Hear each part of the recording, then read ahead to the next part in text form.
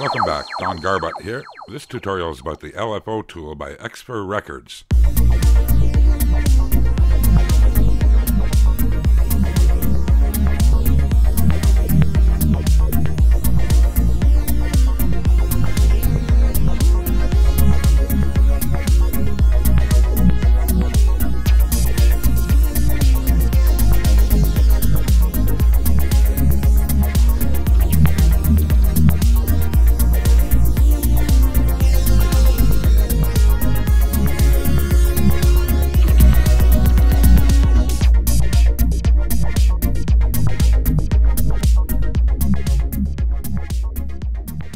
LFO tool by Steve Duda and Xfer Records is a very interesting plugin. It's quite inexpensive and it has a variety of uses. Initially, you could consider it a signal processing plugin. Inserting it on your channel strip enables you to use its filter and volume and pan controls. The filters sound great and the control is really amazing. Initially what I've got is a bass track with this LFO tool loaded as an insert. With this example you can hear the same effect that you'd get with a compressor and a sidechain setup, where by the sidechain method you'd get the bass drum to control compression on your bass instrument. Here by just loading the LFO tool on the bass track, the synchronized LFO pattern enables you to get volume pumping which achieves the same effect. Here's the bass track without any LFO tool.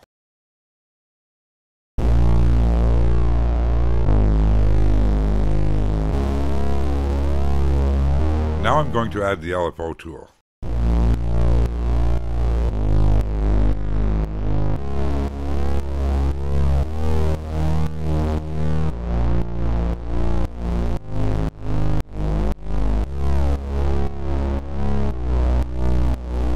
Now you hear that kind of popping sound as the LFO shape repeats itself. You can smooth that out with the smoothing control down here.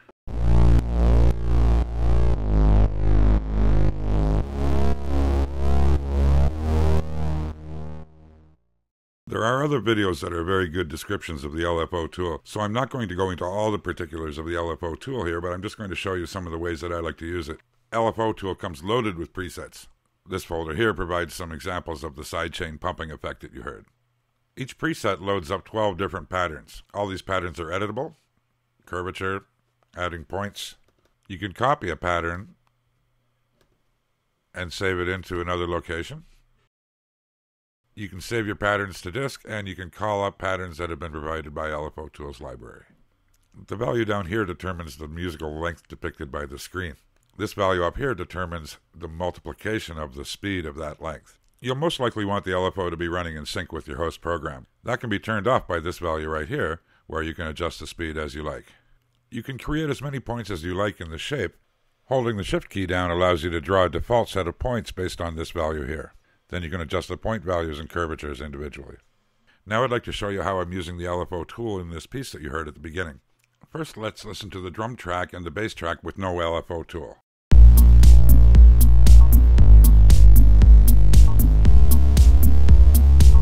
Now I'm going to add the first LFO tool that I have inserted on this bass track.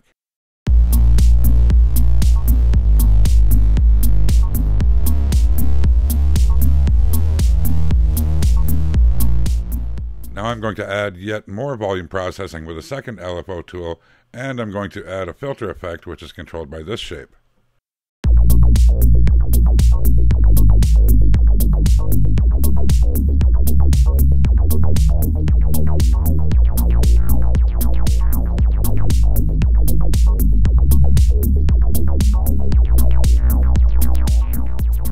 So you can clearly hear the excellent effect of the LFO tool's filter.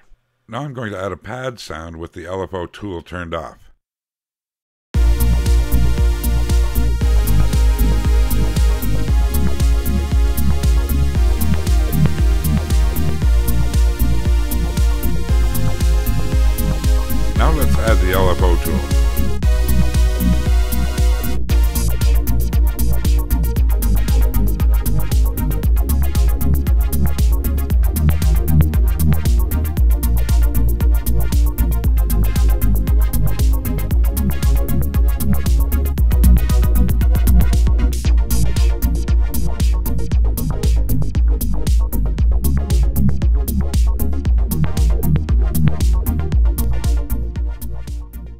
Here's where you choose which of your 12 patterns you'd like to have controlling the targets. You can select that by hand, but you can also make the selection by MIDI. In the next tutorial, I'm going to show you how to do that. And on top of that, I'm going to show you how to use these patterns as MIDI controller data to control other devices such as the Sugar Bytes Turnado. Thanks for watching. See you soon.